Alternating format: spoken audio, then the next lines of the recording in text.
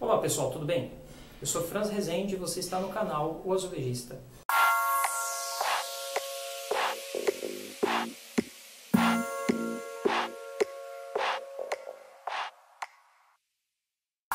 Pessoal, hoje a dica do canal Azulejista é muito prática para você que está construindo ou reformando sua casa. A dica de hoje é a seguinte: como calcular a metragem de pisos e revestimentos da sua casa. Vamos começar explicando duas coisas. Primeiro, existem dois cálculos a serem feitos: o cálculo do piso e o cálculo dos revestimentos que vão nas paredes. Parece a mesma coisa, mas são cálculos feitos um pouco diferente, então a gente vai explicar como é feito cada um deles. Primeira coisa que você tem que ter para fazer o cálculo dos seus pisos e revestimentos da sua casa, papel e caneta. Porque você vai marcar todas as metragens separadamente.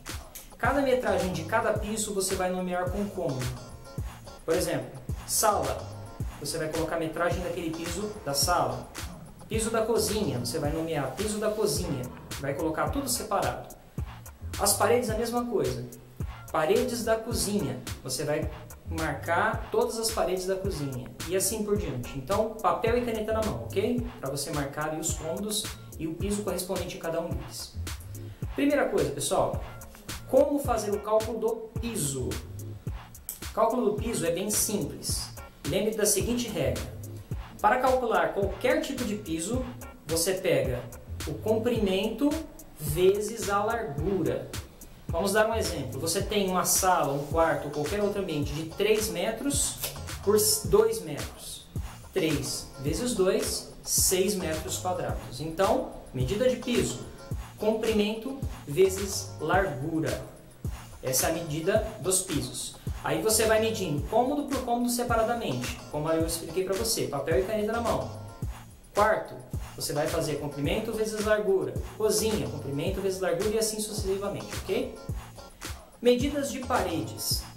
A parede é medida de uma forma diferente, porque você pega o comprimento vezes a altura. Vamos dar um exemplo prático.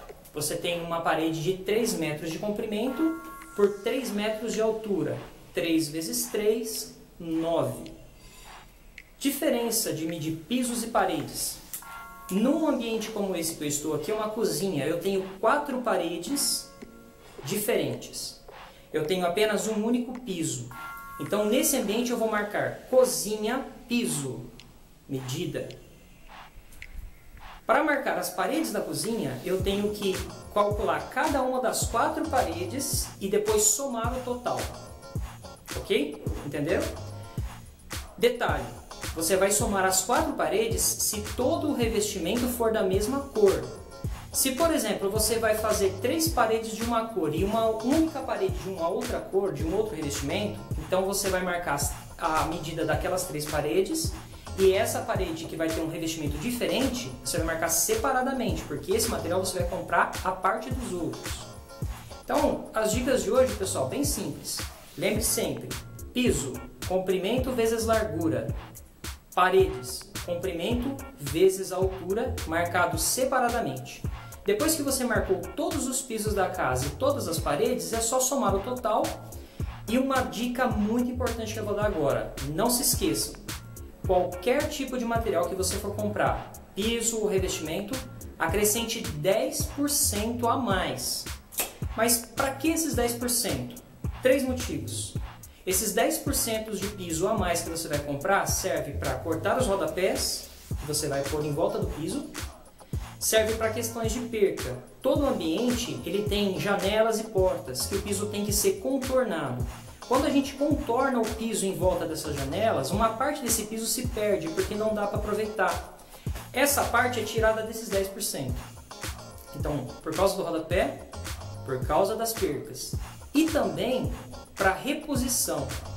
A reposição é uma coisa muito importante, pessoal. Imagine que vocês revistam toda a sua casa, as paredes e o piso. Futuramente dá um vazamento numa parede e você precisa tirar esse, essa peça aqui para consertar o encanamento.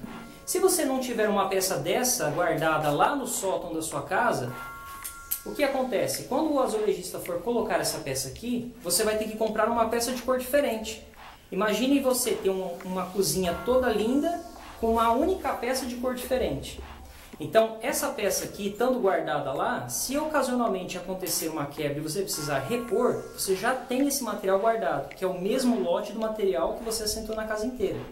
Então, lembre-se, sempre coloque 10% a mais na medida total para garantir rodapés, recortes e o material de posição, ok? Essa foi a dica do canal Azulejista para você. Não deixe de se inscrever aqui no nosso canal para receber os novos vídeos. Nós vamos dar muitas outras dicas interessantes para você que é consumidor, para profissionais da área também. Então entra aqui e se inscreva. Também se você gostou desse vídeo, dá o seu joinha pra gente, mostra que você gostou, deixe seu comentário em qualquer dúvida.